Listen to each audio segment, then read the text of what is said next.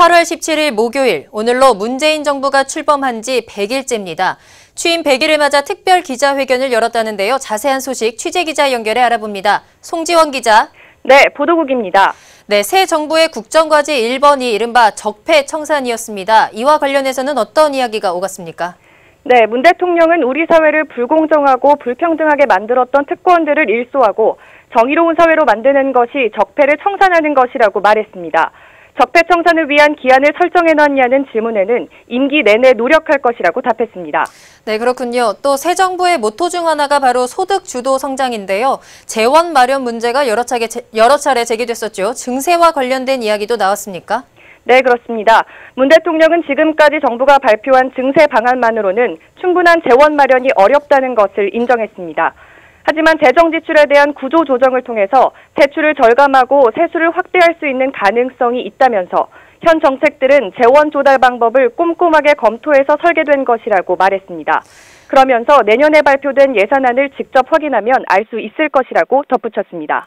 네, 연일 계속되는 북한의 도발 때문에 국민들이 대북 정책에 대한 관심도 높은데요. 전쟁 가능성에 대해서는 별다른 언급이 없었습니까? 네, 문 대통령은 한반도에서 두 번 다시 전쟁은 없을 것이라고 강조했습니다.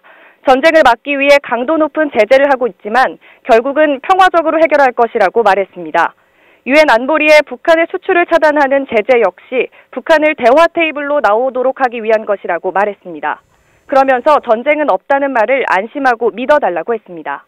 네, 이번에는 살충제 계란 얘기 좀 해보죠. 정부의 전수조사가 실시되면서 60개가 넘는 농가에서 살충제 성분이 검출됐습니다. 소비자의 불안은 날로 커져만 가는데요. 현재 살충제 계란 농가가 계속해서 늘어나고 있다고요. 네, 그렇습니다. 농림축산식품부와 식약안전처에 따르면 일반 농가와 친환경 농가를 포함해 살충제 성분이 조금이라도 포함된 농가가 66개로 늘었습니다.